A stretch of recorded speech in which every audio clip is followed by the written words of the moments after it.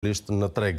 Sepse të paktën në rastin e Gjermanisë e dimë që kanë një ndërgjegjësim përmendi Prençi të lartë, efikasitet në fakt është ajo për cilën njihen.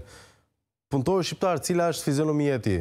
Flas për Prençin që kam përshtypjen se i njeh mirë punëmarrësin mesatar shqiptar. Atëherë problematika kryesore që ka për fat të keq kjo ndikon ndoshta edhe me mungesën e investimeve është produktiviteti. Ëh. Uh -huh. Duke marrë për bazë një gjë të tillë, prandaj edhe edhe theksohet që ndoshta është shumë herët të diskutohet në Shqipëri një gjë e tillë, është pikërisht që ne aktualisht kemi produktivitet shumë të ulët në krahasim me vendet e tjera të Ballkanit dhe jo më të vendeve të zhvilluara të Europës. Dhe si e tillë, patjetër që kjo është ngërçi i parë kryesor. Absolutisht kjo ndikon pastaj edhe në rritjen mund të shohim edhe anën negative të shkurtimit të orareve të punës, që është edhe rritja e stresit nga presioni i porosive ose nga presioni i produktivitetit që duhet kryer në ditët e punës. Pra, uh, patjetër që është shumë e rëndësishme uh, orët e shkurtuara gjatë javës uh, dhe më të zgjatura të pushimeve, por mendoj që problematika kryesore tek ne është produktiviteti. Pashaj, ju merreni me një kategori tjetër punonjësish, pak më sipër se kjo mesatarja. Natyrisht, por mhm. sigurisht që jemi të vetëdijshëm se punojmë dhe jetojmë në këtë treg.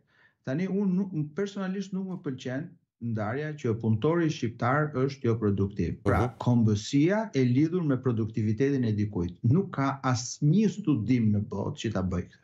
Por ka studime të tjera që do më do ju marr Shumë pak, një minutë. Mhm. Pra, ne themi që këta shqiptarët që punojnë këtu nuk janë produktivë. Po kur këta shkojnë jashtë, si ka mundësi që janë më produktivët? Janë shumë produktivë. Ëh, më besoni, dhe ata që punojnë thonë po të kesh punëtorë shqiptarë të mirë, bën shumë punë.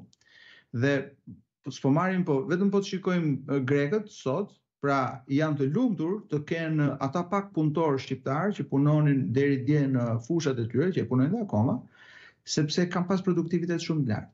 Pra po i kthem tani po bëj një replikë me Prençin miqësore, që nuk është problemi ke punonjësi, problemi është tek punëdhënësi. Pra ne kemi kompani dhe firma që nuk i marrin më të mirën punonjësit. Ata janë vetë të çorganizuar, janë vetë pa njohuri, janë vetë pa dije. Dhe duke qenë të tillë nuk mund t'i marrin punonjësit më të mirë. Nuk e ka problemin punonjësi.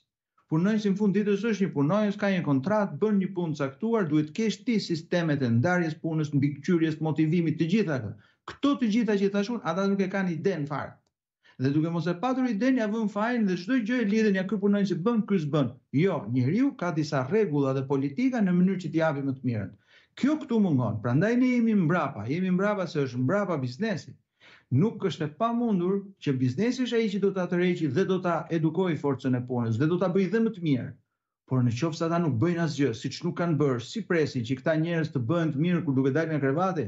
të mbarojnë gjumin e darkës, të shkojnë në punë dhe atje të jenë perfekt dhe të konkurrojnë me një gjerman. Jo, sepse Gjermania punon shumë me këta njerëz.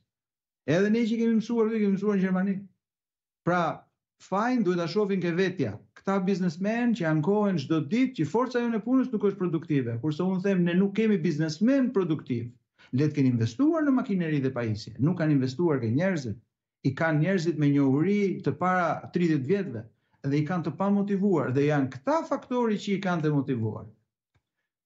Këtë kisha Prençë, e rëndë kjo Prençë. Po nuk është nuk është e rëndë, por unë ju jap një